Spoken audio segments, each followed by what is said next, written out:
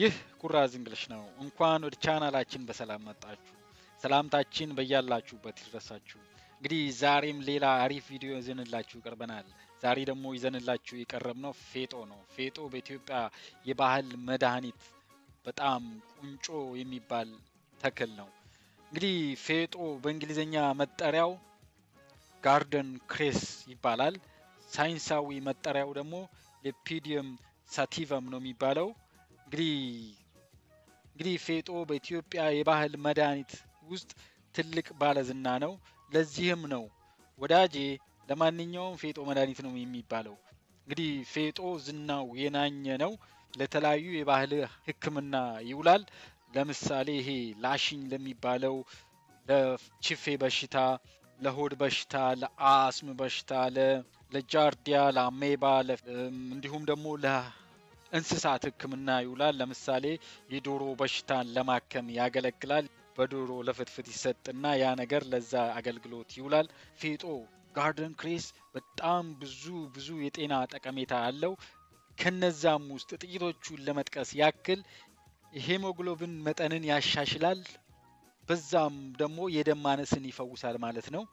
ለሚያጠቡ እናቶች ደግሞ የጡት ወተት ምርት እንዲጨምር ያግዛል።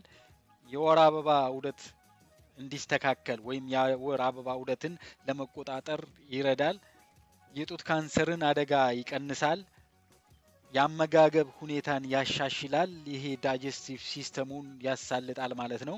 ከመጠን ያለፈ ውፍረትን ይከላከላል። የልብ ችግር ላለባቸው ሰዎች ቢመገቡት በጣም ጥሩ ነው። የጉበት ጤንነትን ለመጠበቅ ይረዳል። የአጥንት ስብራትን ለመፈወስ በጣም ውጤታማ ነው። ፌጦ ጸረ ተባይ ነው። ጸረ ፈንገስ ነው። ጸረ ባክቴሪያ ነው። በመሆኑም ይህንን በመውሰድ እነዚህን ተውሳኮች መከላከል ወይም መቀነስ ይቻላል። እንግዲህ ሌላው ደግሞ የኩላሊትን ጤንነት ለመጠበቅ በጣም ጠቃሚ ነው። ሌላው ደግሞ የቆዳ ጤንነት ለመጠበቅ በጣም ጠቃሚ ነው። memory booster ነው ወይም የማስታወስ ችሎታን ያዳብራል ወይም ይጨምራል።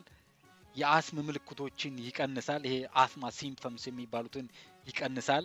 ሌላው ደግሞ ይሄ የሆድ ድርቀት ይሄ constipation የሚባለውን በሽታ ለመከላከል ይረዳል። እንግዲህ እነዚህና በጣም ሌሎች በጣም ብዙ እዚህ ጋር ያልጠቀስኳቸው ጥቅሞች አሉት። እናንተ garden health benefits of garden cress ብላችሁ ጉግል ማድረግ ትችላላችሁ። ወይም ደግሞ link ኡን የዚህ ቪዲዮ description ላይ አስቀምጬላችኋለሁ። እዛ ገብታችሁ ማንበብ ትችላላችሁ። ስለዚህ በምን መልኩ ነው የሚዘጋጀው ለምትሉ ሰዎች አንደኛው ያው ፍሬው ይወቀጣል ወይ ይለነቀጣል። ከዛ ፍሬው ይለነቀጣል። ከዛ በፍትፍት መልክ ሊዘጋጅ ይችላል። ወይም ደግሞ በሌሎች ምግቦች ላይ ተደርጎ ሊበላ ይችላል። እንግዲህ ሌላው ደግሞ ኢትዮጵያ ውስጥ በጣም ያልተለመደ ነገር ግን ውጭ ዓለም ላይ በጣም በብዛት የሚጠቀሙበት የፌጦ ፍሬ እንዲበቅል ይደረግና ያ የበቀለው ፌጦ በሰላድ ውስጥ ይጨመራል ወይ ሰላድ ላይ ይደረጋል፣ እንቁላል ላይ ሊደረግ ይችላል። በተለያዩ ምግቦች ላይ ተደርገው በዛ መልኩ መመገብና እነዚህን የፌጦ የጤና በረከቶች ማግኘት እንችላለን ማለት ነው።